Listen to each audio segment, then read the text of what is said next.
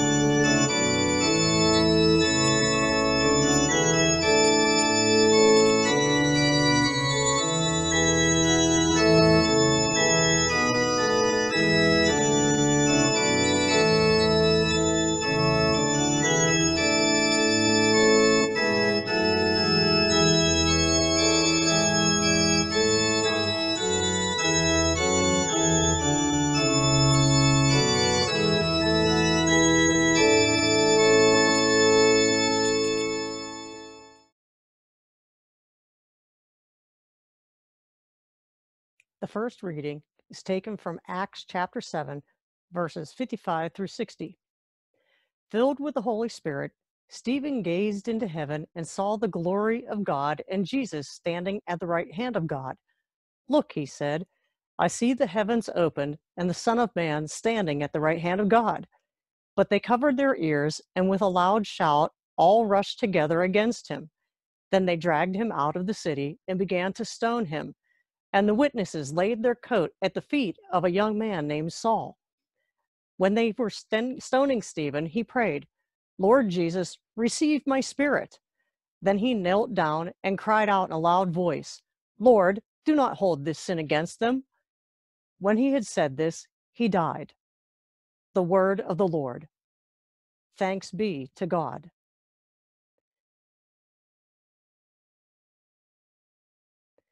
Today's psalm is taken from Psalm 31. In you, O Lord, have I taken refuge.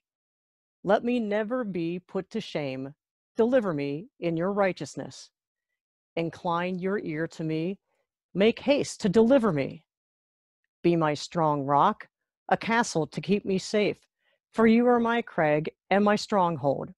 For the sake of your name, lead me and guide me.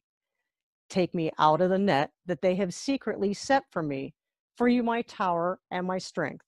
Into your hands I commend my spirit, for you have redeemed me, O Lord, God of truth. My times are in your hand. Rescue me from the hand of my enemies and from those who persecute me. Let your face shine upon your servant Save me in your steadfast love.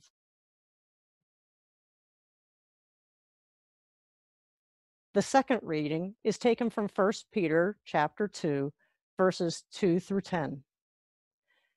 Like newborn infants, long for the pure spiritual milk, so that by it you may grow into salvation, if indeed you have tasted that the Lord is good. Come to him, a living stone, though rejected by mortals, yet chosen and precious in God's sight. And like living stones, let yourselves be built into a spiritual house to be a holy priesthood to offer spiritual sacrifices acceptable to God through Jesus Christ. For it stands in Scripture See, I am laying in Zion a stone, a cornerstone chosen and precious, and whoever believes in him will not be put to shame. To you, then, who believe, he is precious.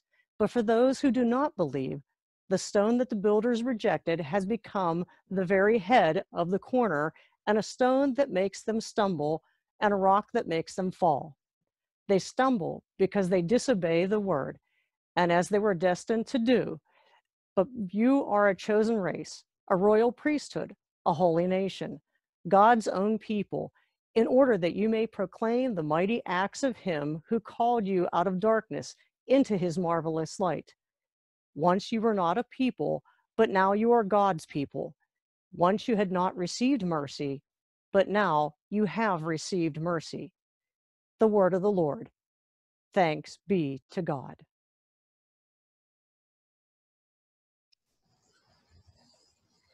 Good morning. God bless you. For this service, we're going to focus on our gospel text from the 14th chapter of John and also the reading from 1 Peter chapter 2 that Judy shared with us. The Gospel of John, 14th chapter. Do not let your hearts be troubled. Believe in God, believe also in me. When I hear these words, I wonder what you're hearing. Because if you are experiencing trouble or having problems, and somebody says to you, don't worry about it, don't feel trouble, it's insulting.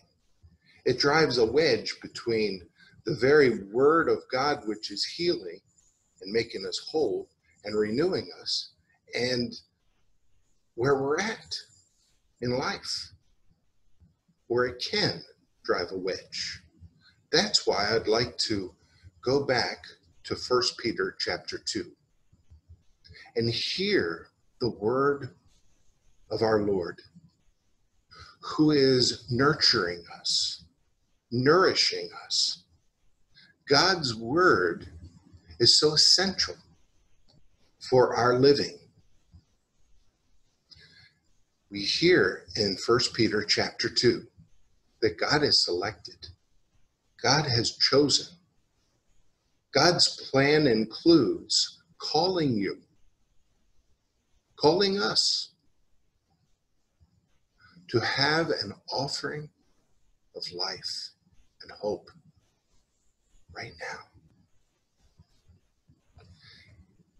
Sometimes we're weak or we're newborn and we need nourishment that is easy to digest. As babies, we're given that nourishment in the form of milk. So in, in 1 Peter chapter 2, God's word is referred to as sincere, genuine milk. It reminds us and reconnects us to the word of God being so essential in our lives that we need that nourishment in a form that is easy to digest. Because the circumstances in our lives are anything but easy many times. So, in the midst of all these difficulties and troubles, we need a word of God that is so basic,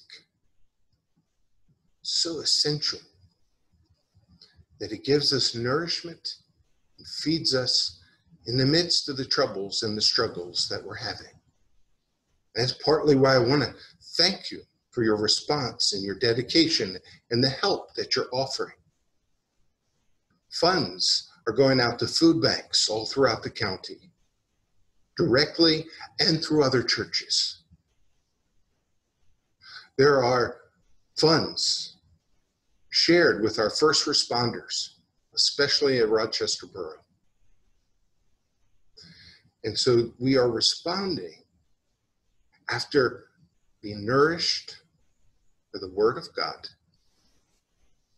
as if we're just infants, drinking in the Word so as to be energized to reach out.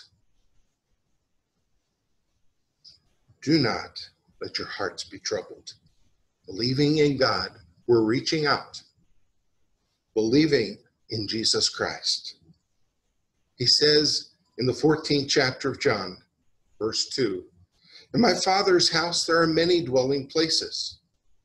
If it were not so, would I have told you that I go to prepare a place for you? Drink that word in.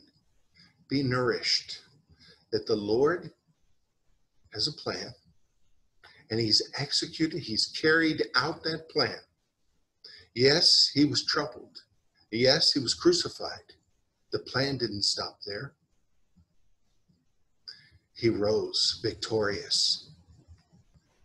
And from a place of victory, as Amy said in our Bible study Wednesday, from a place of victory secured to us by the resurrection and ascension of Jesus Christ to the right hand of the Father, we, from a place of victory, can share the victory, that word that nourishes us, so others may be nourished. In my Father's house. Do you know there's a Father's house, a place of worship in Rochester? Some of you even live on the same street. As you are nourished by the word of God this morning, reach out to our neighbors see what they need, see how we can help and connect with them at the Father's house in Rochester.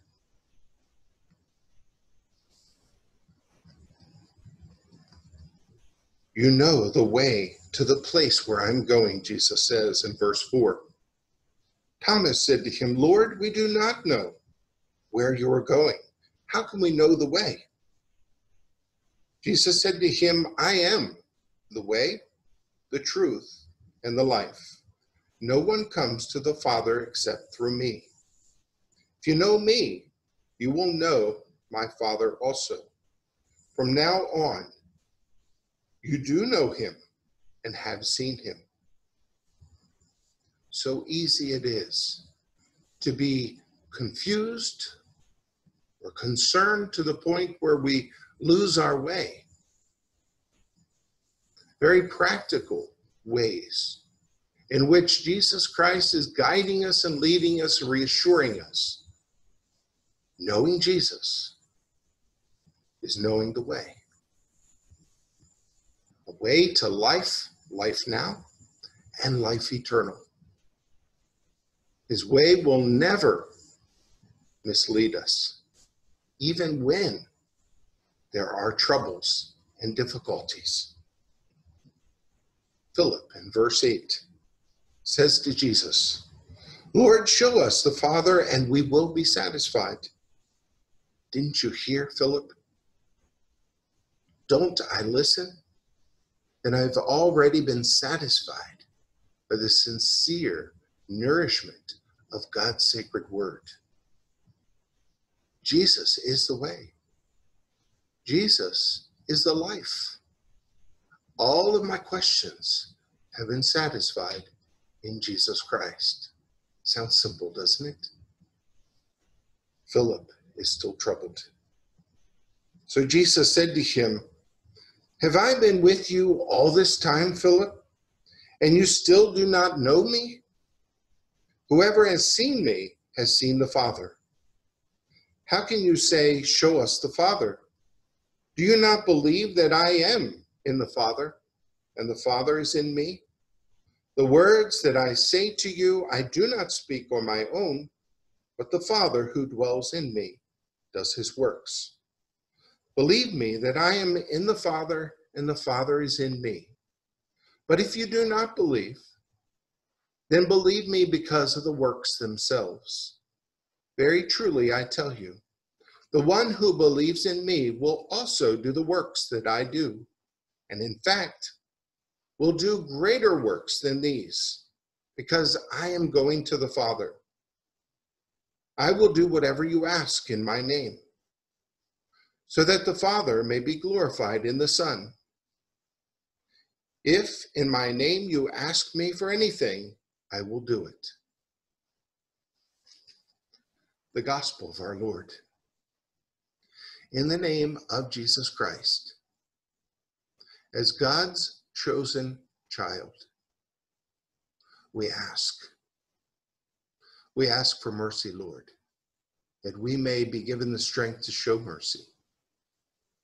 We ask for resources so that we may be given a generous and courageous heart to share these. The way of Jesus Christ is being shared with us. Joe Foreman, in his many outreaches through the internet, Bible studies with Pastor Steele, myself, and Amy Wolford.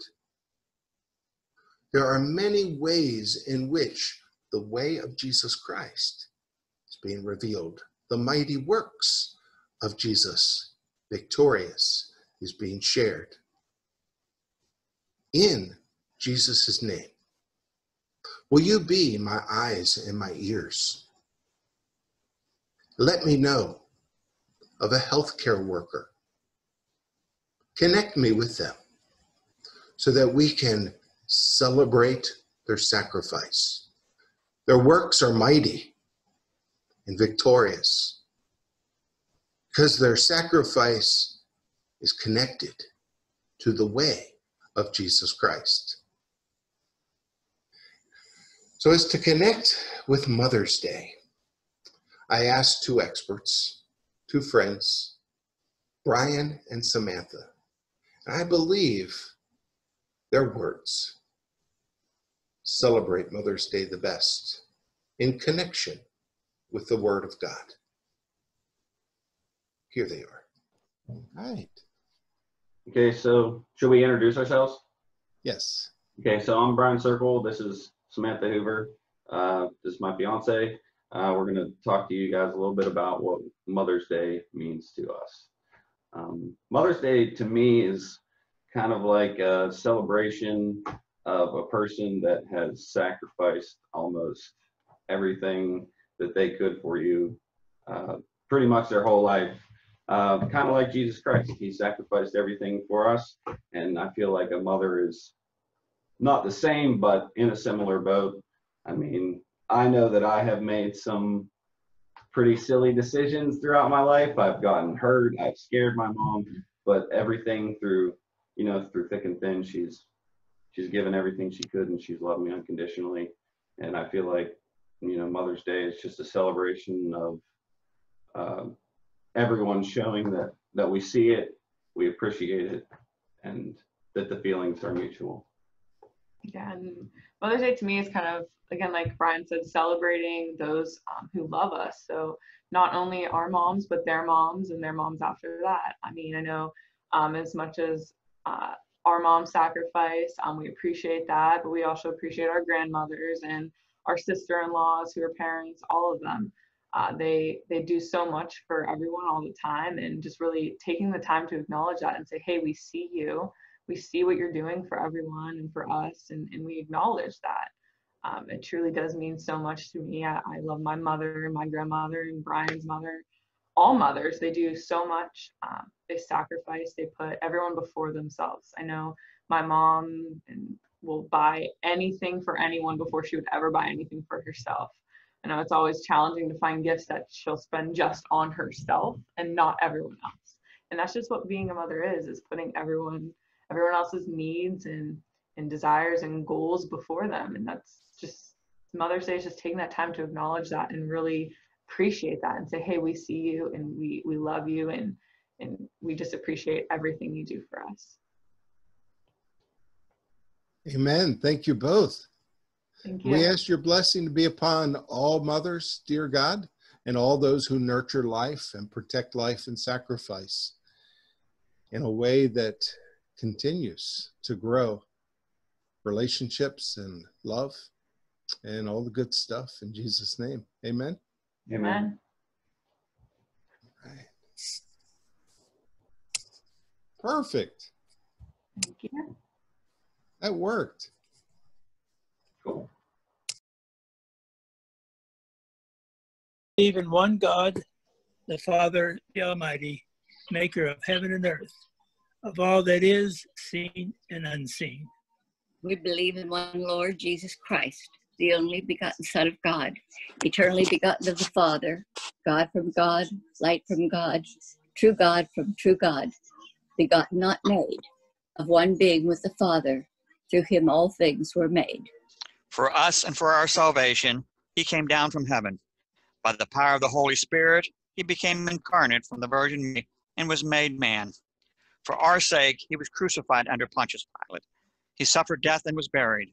On the third day, he rose again, in accordance with the scriptures. He ascended into heaven and is seated at the right hand of the Father. He will come again in glory to judge those from the Father and the Son, who with the Father and the Son is worshiped and glorified, who has spoken through prophets. We believe in one holy Catholic Apostolic Church.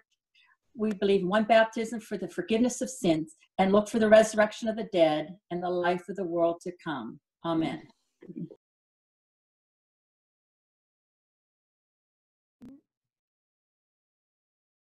Still worshiping from our homes, but with our hearts bonded into one, let us pray for all who are in need. Build us up, Mothering God, that like living stones we embody the strength that only you can give. Nurse all the baptized with the milk of your word, as you provided the early church with the apostle Matthias. Fill now the church's needs for leaders to serve your holy people. Be with us as we worship together as the church, yet distanced and not in our church. Lord, in your mercy, Hear our prayer. form us to be humble participants in your complex creation.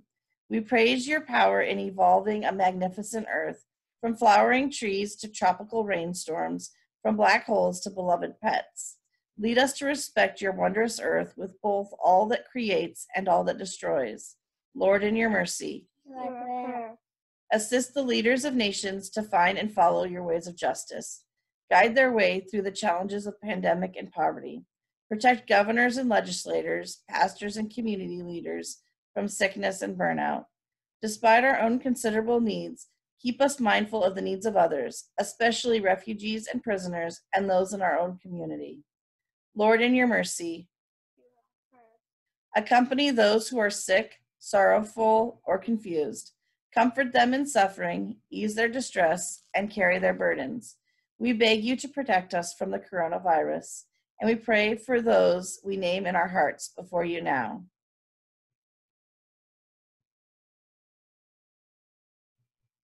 Lord, in your mercy,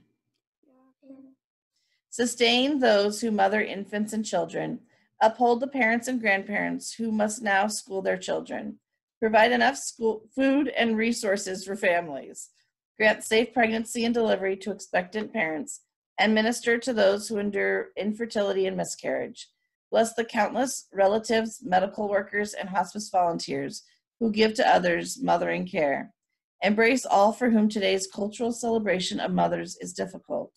Lord, in your mercy, we remember before you all who have died in the faith, like St- Stephen, martyred for the faith, those struck down by the coronavirus, and those whom we name in our hearts now. At the end, bring us all to you who are on our way, our truth, and our life. Lord, in your mercy, Hear our prayer. with bold confidence in your love, Almighty God, we place all for whom we pray into your eternal care through Jesus Christ our Lord. Amen. Amen.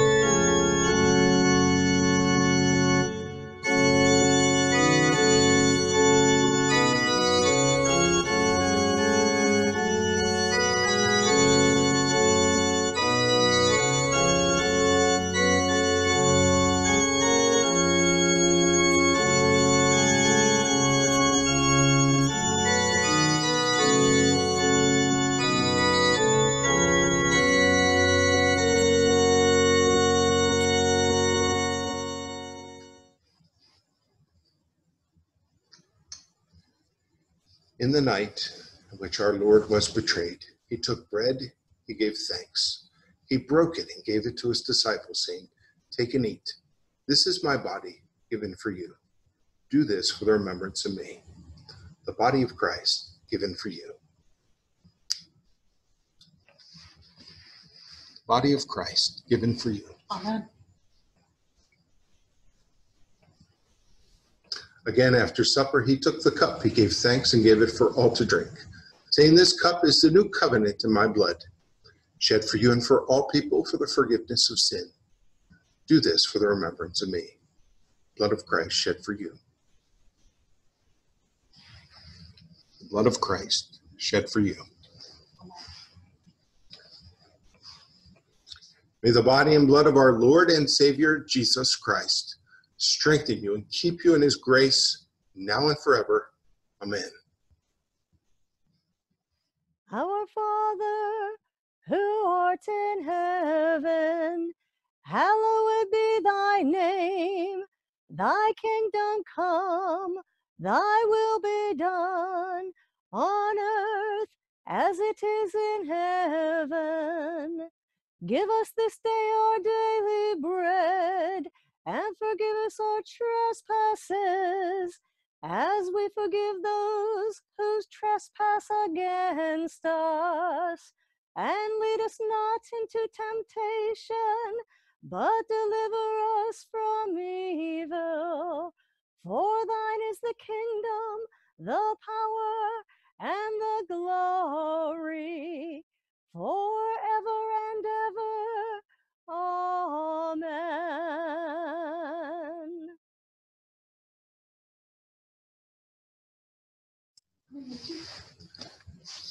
May God bless you and keep you. May God's face shine upon you and be gracious unto you.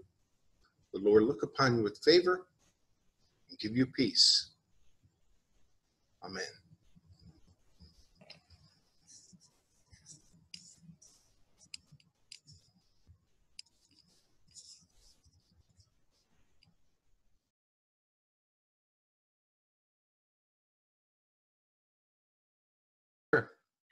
Hello, all you, my former and present members of the Grace Lutheran congregation.